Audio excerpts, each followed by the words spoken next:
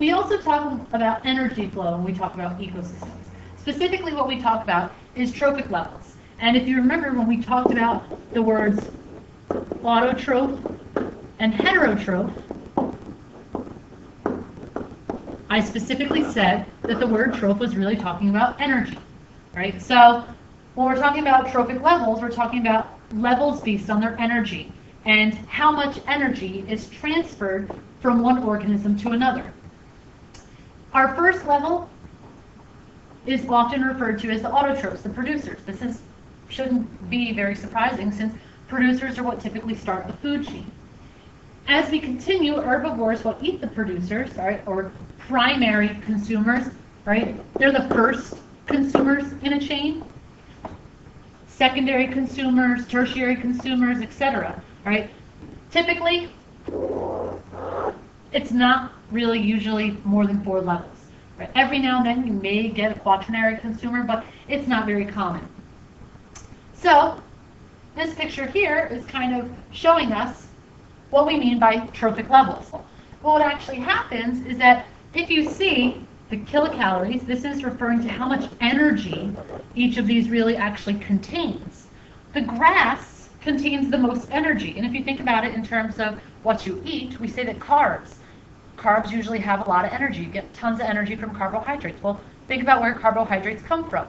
Breads, right, are typically from grains, which are plants, right? Fruits and vegetables are carbohydrates. So it's important for us to think about that those are producers, right? They're coming from producers. Those organisms, right, the producers, have tons of energy because they're the first step. They're going to make their own energy, use a small amount, and then, as the primary consumer feeds off of the grass, it takes in all of that energy. However, that primary consumer is going to need to use some of its own, right, of that energy.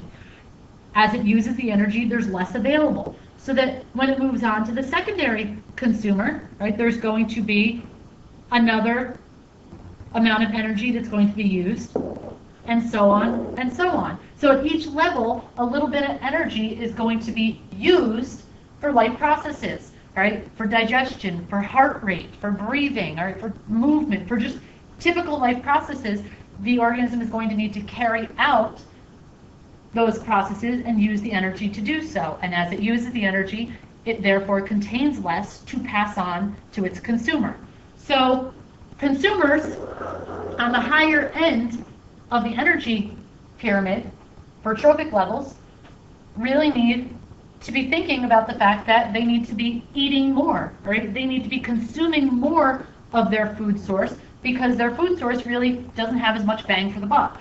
This slide just continues to show what I was explaining, right? We also have another concept, right, that plays into energy pyramids, food chains, however you really want to think about it. When we're talking about energy pyramids, we're really talking about energy flow. We have something that's called biomagnification.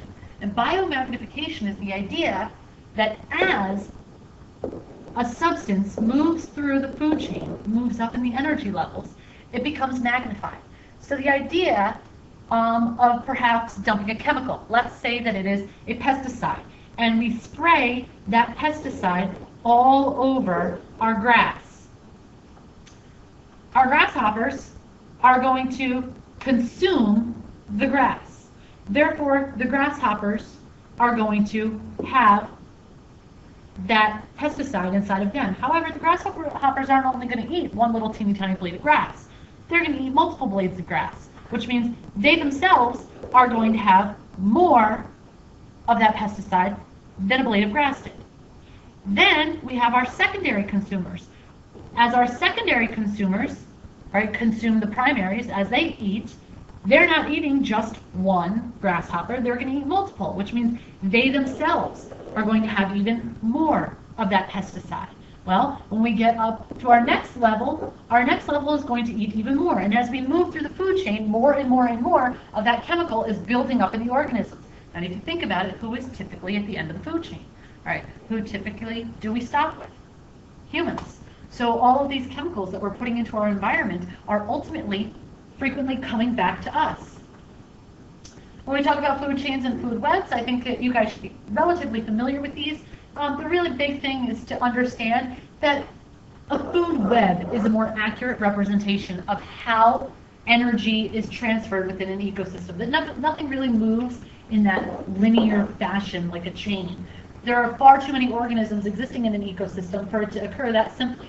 So the idea is that the cardinal is only being consumed by the fox isn't really necessarily true because there may be more than one consumer. Keep in mind the arrow is the direction of energy flow. Right? We're not drawing an arrow from the fox to the cardinal saying fox eats squirrel. Right? That's not the idea. We're saying the energy flows from the cardinal to the fox. Right? So we're really looking at energy flow when we think about those arrows. This is just demonstrating two different types of food chains, one being obviously for land, the other for the ocean. All right. Reason that they're not that accurate? This is a more accurate representation.